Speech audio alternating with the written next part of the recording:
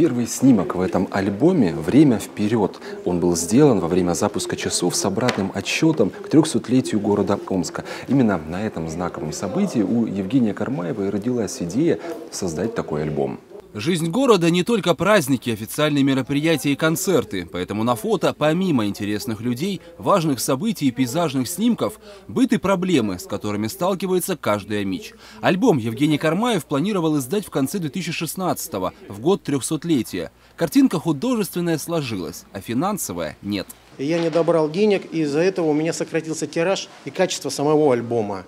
Но благодаря например, депутату э, законодательного собрания Валерия Михайловича Кокорина, у меня, э, который вот откликнулся на, на мою просьбу, просто махом среагировал, и вот благодаря ему появился этот альбом.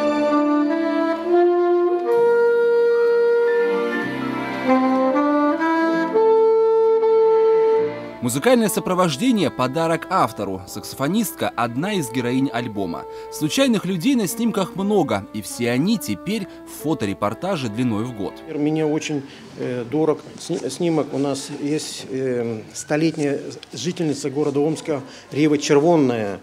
Вот э, ей э, в шестнадцатом году исполнилось сто лет.